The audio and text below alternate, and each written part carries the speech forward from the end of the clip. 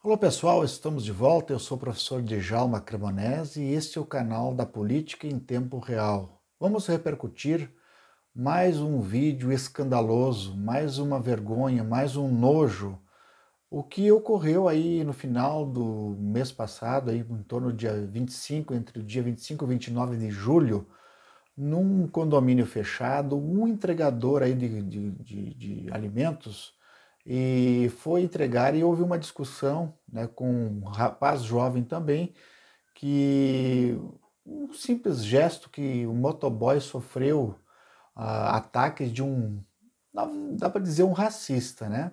Uh, morador de um condomínio nobre uh, de luxo e que não podemos permitir que esse tipo de atitude se contamine se propague no país. Nós tivemos há pouco tempo atrás uh, um casal de pessoas confrontando, dando carteirada ou carteiraço em um fiscal da saúde do Rio de Janeiro, dizendo que ele, meu esposo ou eu, sou melhor que você, que é engenheiro.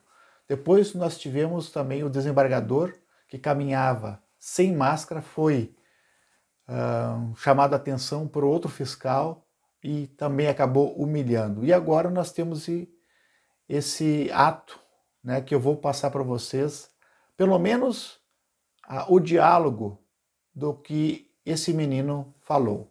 Prestem atenção.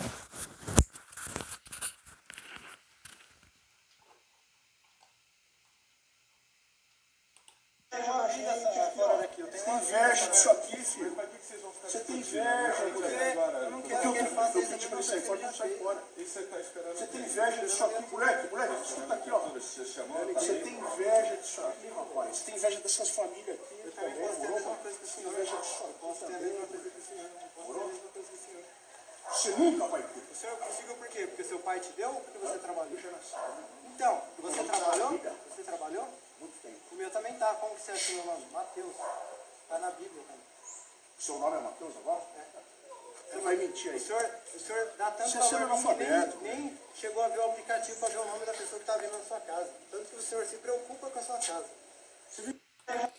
Pois é, é um lastimável, né? Vidas negras importam, racistas não passarão, racismo é crime, são os hashtags que o Twitter está repercutindo ainda nessa final da sexta-feira e entrando noite adentro. O que nós não podemos conceber é exatamente isso. Todos nós somos iguais perante a lei, mas avaliando esse tipo de gente, a gente cria realmente uma náusea, porque por que essa pessoa está, está dizendo você tem inveja da minha pele, você tem inveja da minha casa, mas de que qual é o sentido disso?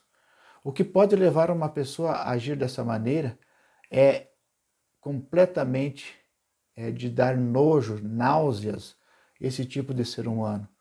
O Brasil não pode tolerar isso. Nenhuma, nem na política, nem na sociedade, nem na cultura, nenhum tipo de racismo, nenhum tipo de ofensa a quem quer que seja.